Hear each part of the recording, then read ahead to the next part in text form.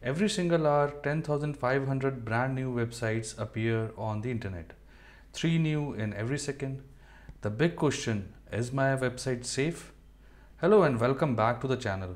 In this video, we will see how to check flaws in your website on your own. Let's get started.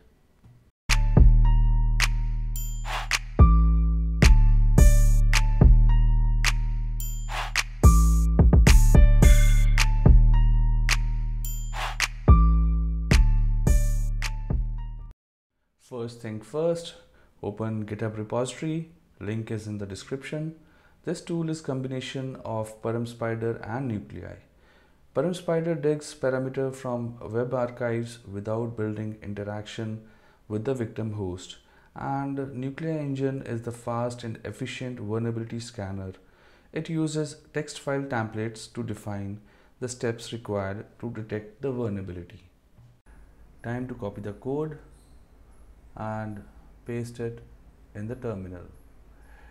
The credit of this powerful tool goes to Satya Prakash, ls cd nuclei. Fuzzer,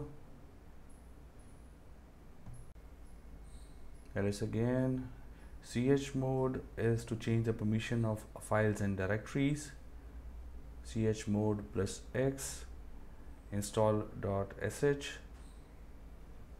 hit enter. Now type install.sh nuclei fuzzer has been installed successfully. Time to clear the screen. Type nuclei fuzzer dash h. This will install all the tools required to run the program seamlessly. With the help of this tool you can easily find flaws in your website on your own and rectify it with the help of developer and make web application safe and secure. This will take couple of seconds depending upon your speed of internet and system configuration. Wait for a while. Mm, all set. Clear. Type nuclei-h to check whether it is there. If not, simply type sudo apt install nuclei to complete the installation clear the screen again. Time to play with this powerful tool. Type nuclei fuzzer hit enter. Enter domain name. I was working on a website. It is deliberately vulnerable application. Let's copy the address. Back to terminal. Paste it and hit enter. You can paste your website over here to check the vulnerabilities and the result is here that 2 in 2 decimal 183 seconds total number of urls found is 102 nuclei is doing its job efficiently. This tool offered to scan for various protocols like dns http tcp and many more. All kind of security checks can be performed using nuclei templates. Here are the number of flaws this tool has found with medium and critical intensity.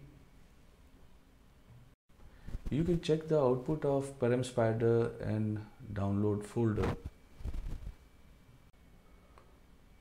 Download nuclei fuzzer, output vulnweb.txt and here is the output generated by Param Spider let's get back to the terminal and as you can see this particular website is vulnerable to SQL and reflected XSS.